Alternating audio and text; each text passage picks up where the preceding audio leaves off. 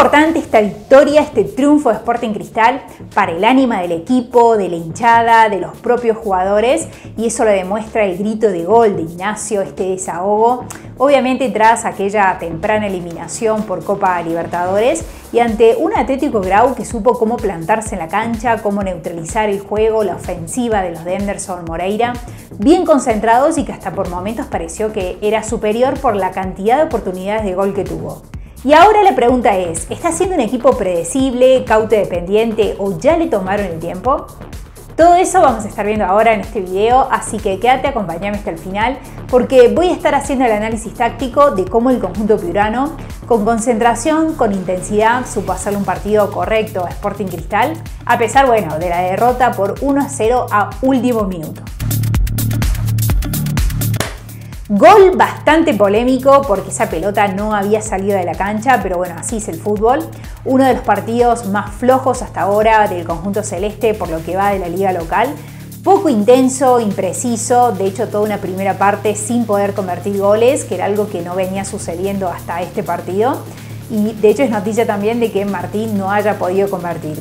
tarde de palos para ambos equipos, que yo creo que más ayudó a que no le conviertan goles a Cristal que para abrir el marcador. Quizás debido a las repercusiones emocionales de esta temprana eliminación por Copa Libertadores, el desgaste de esos partidos, la falta de sorpresa para poder desordenar al rival y que pareciera que ya le están agarrando la mano al juego de Anderson Moreira. Pero ahora vamos al sitio SoftScore para ver las formaciones de los equipos, cómo se pararon en cancha y las valoraciones que tuvieron de manera individual. Cristal formó con el 4-2-3-1, una formación habitual de este equipo, con Renato Solís en el arco, una de las tres mejores puntuaciones. También ayudaron los palos y la imprecisión de Grau, pero tuvo algunas atajadas que le permitió sumar su segundo partido sin recibir goles y además que le da mucha confianza al arquero después de aquella semana para el olvido.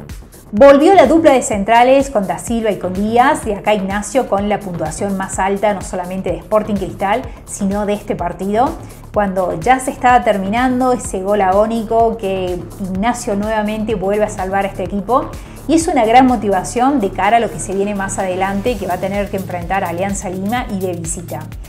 Sin embargo, creo que esta puntuación alta fue por el gol, porque bueno, durante el trámite del partido tuvo muchas pifias, siguen las falencias defensivas y que gracias que el rival no estuvo preciso, sino obviamente que sería otra la historia. Completando esta línea de 4 con Lora y Pasquini, que atención acá porque el argentino ha tenido una buena valoración, con dos despejes, 4 de 5 duelos aéreos ganados, un tiro a puerta y es obviamente una buena noticia de un jugador que por lo general no viene haciendo buenos partidos o no viene destacando mucho.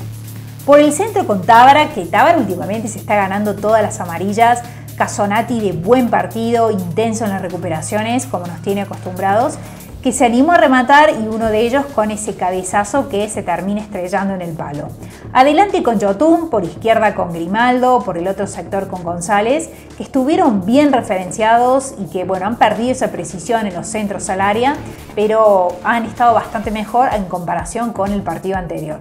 Y más arriba con Cauterucho de baja puntuación porque bueno, no tuvo mucha participación y las pocas pelotas que le llegaron no fueron muy precisas. Además que tenía la marca encima de Franco de Tapia que no lo dejaban solo ni un segundo. Pero bueno, esa era la misión de Atlético Grau de que Martín no pudiera recibir cómodo y que no pudiera convertir goles. Por su parte, Grau formó con el mismo sistema 4-2-3-1, con el Pato Álvarez en el arco, una línea de 4 que ha tenido un buen partido, la mayoría con una puntuación más de 7 como se puede ver. Gran partido de Tapia, uno de los mejores de la cancha, que bueno, después salió lesionado, haciendo dupla con Franco y por las bandas con Rojas y Rodas. Por el medio con Soto y Contreras, frenando ese ataque por el medio de Sporting Cristal, por delante con Taluz, Sandoval y De la Cruz y más arriba con Bandiera. Pero ahora vamos con el análisis táctico para ver cómo Atlético Grau neutralizó el juego y el avance de Sporting Cristal.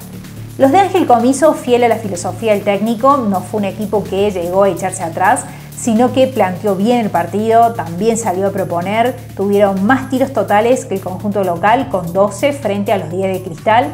Siete tiros dentro del área, tres a puerta y dos que pegaron el palo y que por momentos, bueno, fue superior al conjunto celeste porque generaba mucho más peligro. Durante la primera parte, minuto 17 del primer tiempo, como se ve que no salían a presionar alto, sino que se posicionaban en su propio campo, replegándose en esta zona media, cerrando los interiores, la progresión por el carril central, siendo intensos para la recuperación de la pelota, para que los dos mediocentros del conjunto celeste, tanto Casona como Tabra no pudieran recibir cómodos y construir juego, dejando al equipo partido y sin conexión con los delanteros que al final después esta jugada se termina resolviendo bien por los de Anderson Moreira, ya que el mismo Casonati, luego de ser interceptado, recupera esa pelota, logrando desarmar el posicionamiento defensivo de Grau y que después lo encuentra solo para lanzar el centro, que yo creo que acá se apura, teniendo todo el tiempo, todo el espacio para haber tomado una mejor decisión. Si quieres ver más análisis tácticos con datos, estadísticas de Sporting Cristal, suscríbete a este canal porque voy a estar subiendo mucho más videos. En esta otra jugada, minuto 40 Nuevamente cómo se repliegan en esta zona media, evitando la progresión por dentro y obligándolo a tener que jugar por fuera. En esta jugada, Cristal utiliza el recurso del pase largo para saltarse esta línea de presión, buscar la lora que estaba proyectado por ese sector más adelante, teniendo que este temporizar el ataque ya que estaban en inferioridad numérica, que sus compañeros estaban por detrás de la línea de la pelota, esperar hasta que suban, jugar por el otro sector con González, que bueno, este termina lanzando un centro que se desvía y que al final no pasó mayor peligro. Y como estas hubo varias situaciones, pero como siempre digo, yo solamente tomo algunas para que el video no sea tan largo, tan repetitivo, pero que han sucedido durante gran parte del partido. En su fase defensiva, en bloque bajo, Atlético Grau se mantenía bien compacto, evitando los espacios entre líneas defensivas, los pases filtrados, acumulando mucha gente en esta zona activa al balón, presionando, siendo intensos, y Lora decidiendo por lanzar un centro que si bien estaban en igualdad numérica en el área chica, el centro fue sin precisión y fácil de controlar por el rival. En cuanto al juego por bandas, que es una de las características de este conjunto celeste, también fue bien controlado, imposibilitando la progresión por esos sectores con una marca bien intensa y obviamente provocando al error. Por ejemplo, en esta jugada, minuto 26, casi 27 todavía de la primera parte, en una situación que se da por las bandas, donde acá el rival, Atlético Grau, bien intenso, evitando este desequilibrio de Grimaldo por esta zona, cayendo rápidamente en un 3 versus 3, siendo intensos en la presión y obligándolo a tener que jugar hacia atrás para poder asegurar la posesión de la pelota. Minuto 46, recién comenzaba el segundo tiempo en esta jugada por las bandas, en este sector izquierdo, que tanto González como Grimaldo intercambiaban permanentemente. Cómo fueron bien controlados tanto Yotun como González en este 2 versus 2, con esta presión intensa encima, apenas recibían el balón, para obviamente no darles espacios a estos jugadores y que te puedan desequilibrar en el 1 versus 1. De hecho, Tapia acá estuvo impasable con un muy buen partido, con 9 despejes, un disparo bloqueado y el 100% de los duelos al suelo ganados. Situaciones muy parecidas a las ya vividas con Always Ready, obviamente salvando algunas diferencias en cuanto al posicionamiento defensivo, pero que pareciera ser de que ya le han encontrado la vuelta a esta ofensiva, a esta propuesta de Sporting Cristal en su juego y que al final resulta bastante predecible. Desde mi punto de vista no es que el equipo está jugando mal, de que ya no está funcionando, sino que ha perdido un poco esta intensidad, esta verticalidad que lo identificaba en los partidos anteriores y que parecía que en la cancha el equipo volaba. Esto de decidir, pensar rápido, jugar un toque, era lo que terminaba desestabilizando, desordenando al conjunto rival y que hacía que por lo menos en la primera parte estuviera encima en el marcador por una gran diferencia de goles.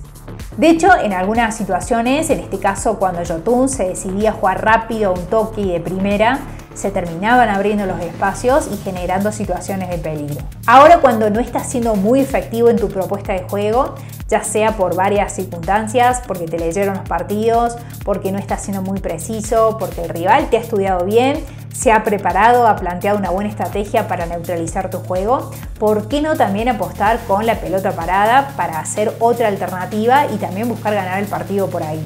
De hecho, Sporting Cristal tiene buen juego aéreo con Da Silva que te termina ganando esos balones o esos duelos aéreos. De hecho, terminó en el gol que terminó salvando este equipo. Y con el cabezazo de Casonati que se termina estrellando en el palo, pero que también iba a ser un golazo. Bueno, ¿por qué no también buscarlo por ahí? Sobre todo pensando que no siempre se puede jugar bien, no siempre se puede jugar bonito, como uno quiere, como uno pretende, porque los equipos tienen ciclos, que tienen estos altibajos y que muchas veces la inteligencia, la picardía, la viveza también juegan y ganan partidos.